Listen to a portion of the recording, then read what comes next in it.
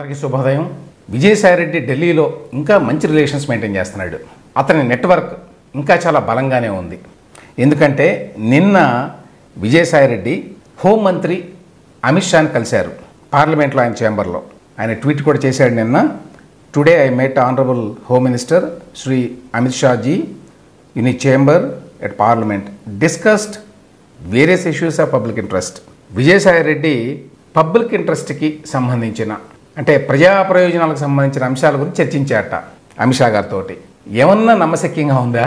విజయసాయి రెడ్డి రాజకీయంగా వ్యక్తిగతంగా అనేక అనేక వివాదాల్లో చిక్కుకున్న ఈ సమయంలో ఆంధ్రప్రదేశ్ రాష్ట్ర ప్రయోజనాల గురించి ఎంతో కన్సర్న్ తోటి విజయసాయిరెడ్డి ఢిల్లీలో హోంమంత్రి అమిత్ షా గారిని కలిశారు. అంటే నమ్మశక్యంగా ఉందా? అది ఓన్లీ ఫర్ రికార్డ్ సేక్ ఈ ట్వీట్ ఇచ్చాడనమాట ఇందులో రెండు విషయాలు ఉన్నాయి ఒకటి ఈ ఫోటో కూడా పెట్టాడు. అమిత్ షా గారితో ఆయన కూర్చున్నది. ఇది ఒక మెసేజ్ని ఇవ్వడానికి ఒక పొలిటికల్ మెసేజ్ని ఇవ్వడానికి. ఏంటి ఆ పొలిటికల్ మెసేజ్ కేంద్రంలో నా నాకు ఇంకా పలుకుబడి ఉంది లేక మా పార్టీకి ఇంకా పలుకుబడి ఉంది నిజానికి రెండు వేల పంతొమ్మిది నుంచి ఇరవై నాలుగు మధ్యకాలంలో విజయసాయిరెడ్డి అన్నీ తానై ఢిల్లీలో పనులు చేసి పెట్టాడు జగన్మోహన్ రెడ్డికి. ఇది వాస్తవం. జగన్మోహన్ రెడ్డి కూడా విజయసాయిరెడ్డికి అన్ని రకాల పదవులు ఇచ్చి ఇతనే నా మ్యాన్ ఫ్రైడే నా సొంత మనిషి. కాబట్టి ఇతనితో మీరు మాట్లాడవచ్చు ఏ విషయానికి సంబంధించి అయినా అనేటువంటి మెసేజ్ని చాలాసార్లు ఢిల్లీలో ఇచ్చాడు. విజయసాయిరెడ్డి వైఎస్ఆర్సీపీకి నేషనల్ జనరల్ సెక్రటరీ. ఆయన వైఎస్ఆర్సీపీ పార్లమెంటరీ పార్టీ నాయకుడు. అది చాలా పెద్ద పదవి పార్లమెంట్లో. ఎందుకంటే రాజ్యసభ లోక్సభ రెండూ ఉంటాయి. రెండింటికి కలిపి ఈయన నాయకుడు అనమాట మూడు ఈయన ఆంధ్రప్రదేశ్ ప్రభుత్వానికి అధికారికంగా ఢిల్లీలో రిప్రజెంటేటివ్ అది కూడా ఒక పదవి. క్యాబినెట్ ర్యాంక్ కూడా ఉంటుంది దానికి.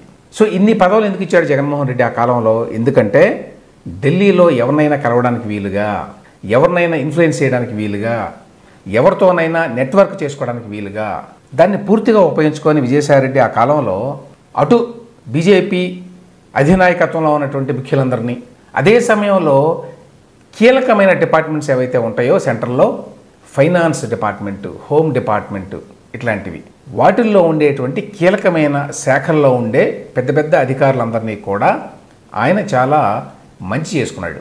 ఉదాహరణకి హోమ్ శాఖ కింద ఈ ఇన్వెస్టిగేటివ్ ఏజెన్సీస్ అన్నీ ఉంటాయి. ఫైనాన్స్ డిపార్ట్మెంట్ కింద ఎన్ఫోర్స్మెంట్ డైరెక్టరేట్ లాంటి ఏజెన్సీస్ చాలా ఉంటాయి. ఫైనాన్షియల్ క్రైమ్స్ని వైట్ క్రైమ్స్ని ఇన్వెస్టిగేట్ చేసేటువంటి సంస్థలు చాలా ఉంటాయి ఫైనాన్స్ మినిస్ట్రీలో. సో వీళ్ళందరినీ కూడా రెండు వేల పంతొమ్మిది ఇరవై నాలుగు మధ్యకాలంలో విజయసాయిరెడ్డి గారు బాగా దువ్వాడు.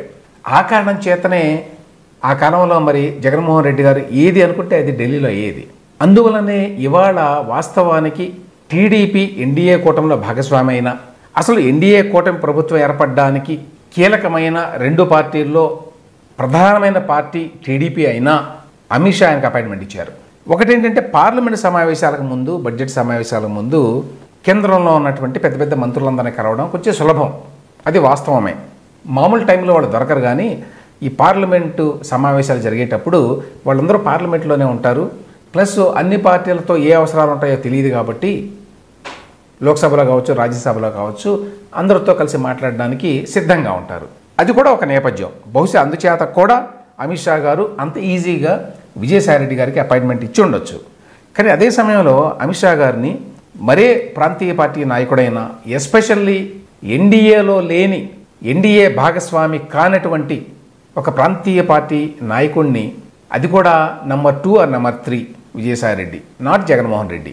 Jaganmohan Reddy అంటే నంబర్ వన్ ఆయన పార్టీలో. అటువంటి వ్యక్తిని కలవడానికి కూడా ప్రాధాన్యం ఇచ్చాడు ఆయనకి అపాయింట్మెంట్ ఇచ్చాడు అంటే అటువైపు నుంచి కూడా ఒక పొలిటికల్ మెసేజ్ ఉంది.